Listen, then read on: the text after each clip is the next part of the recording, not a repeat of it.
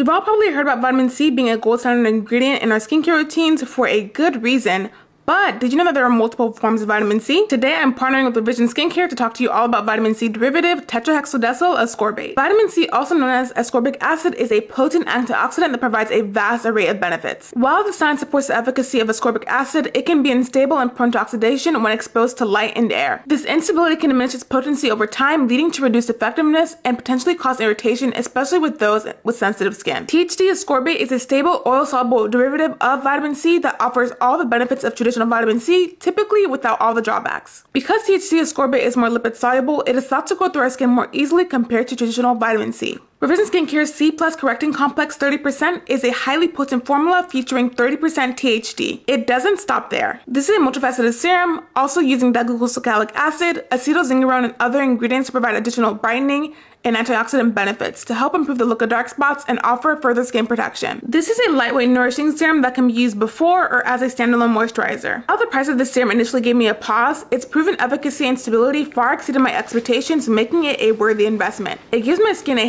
radiant glow. Luxury by no means always guarantees quality. I consider myself a drugstore girl through and through. But for me, this serum showed superior results, a reminder that all vitamin C's are not created equal.